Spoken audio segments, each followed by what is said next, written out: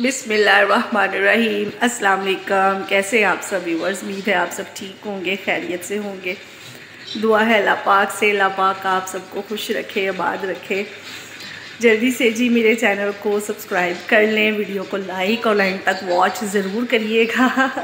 आज थोड़ी सी आवाज़ में ताजगी इसलिए नहीं है क्योंकि गला बहुत ख़राब है, ज़ुकाम हुआ हुआ है। तो इस वजह से ये हालात हुए हुए हैं। बच्चों का आज रेगुलर स्कूल जाने का फ़र्स्ट डे है मतलब कि पहले भी जाते रहे हैं, लेकिन उनके पेपर थे हो रहे अब रेगुलर बैग के साथ जाएँगे। तो बच्चे कैसे कर रहे हैं? अभी नाश्ता। तो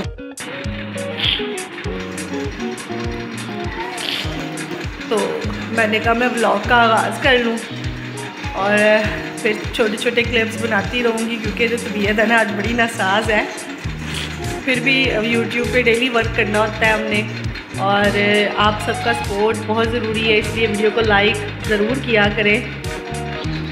और बेल आइकन को भी प्रेस किया करें ताकि मेरे नए आने वाले ब्लॉग्स आप तक पहुँच सके। जूस इसके अंदर रख दिया है। इसके अंदर। हाँ। चलो बेटर हो रहमत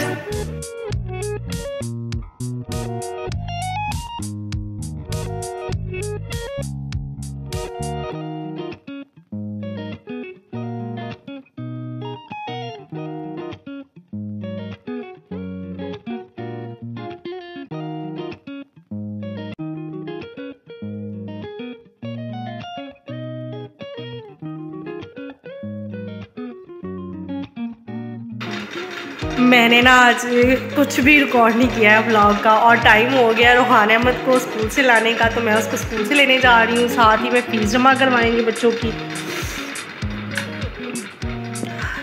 जो कि ना फ़र्स्ट प्योरिटी है।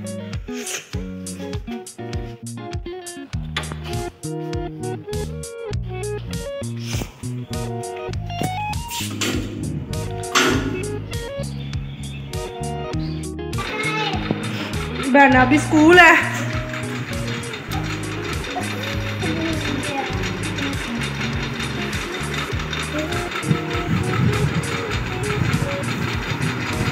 चलो मेरा हेलो लड़की हूँ मैं अंडिया वगैरह ना आज अम्मी ने बनाई है तो मैंने रोटियाँ बना ली थी साथ तो मैंने कोई भी वीडियो रिकॉर्ड नहीं की है तबीयत ना सांस होने की वजह से।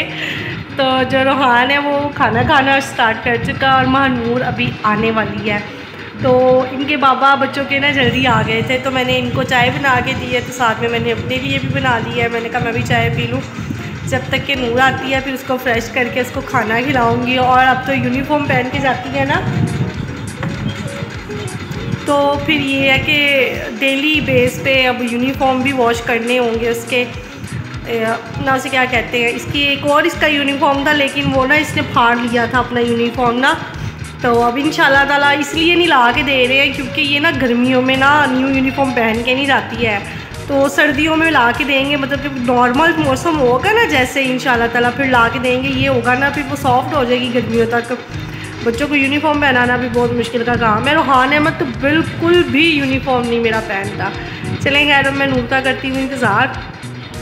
और साथ में लेते हैं हम चाय के सिप। मेडिसिन हमने खा ली है तो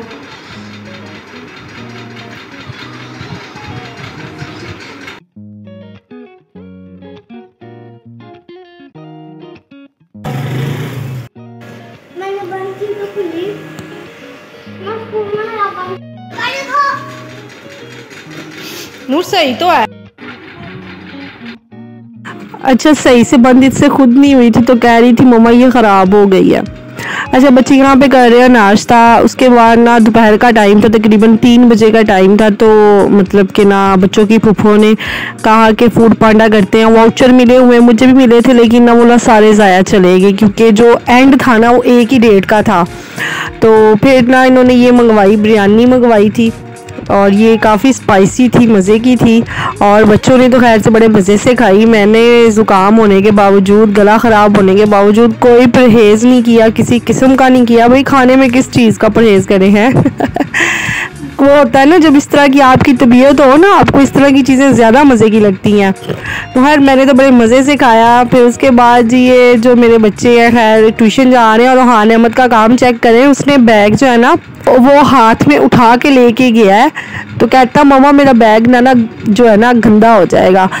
मेरा बैग गंदा हो जाएगा, वो इस तरह से ले मुझे इतनी हँसी आई, मैंने कहा, देख लो रूहान अहमद, अपने काम चेक करो। फिर उसके बाद मैंने महानूर की जो वर्दी थी ना, वो साथ ही वॉश कर दी थी। मैंने कहा, चलो, मैं इसको जल्दी से आयरन कर लूँ, ये गए हुए हैं तो मैं ये वाले काम निपटा लूँ। और मेरा जो इस्त्री स्टैंड होता है ना, वो खैर से ना, वो एक सलफ़ होती है ना किचन की शलफ सॉरी उसका काम करता होता है। हर चीज़ इसके ऊपर हमने रखी होती है। फिर मैंने पहले उनको समेटा, फिर जल्दी से जो कपड़े थे आयरन करे।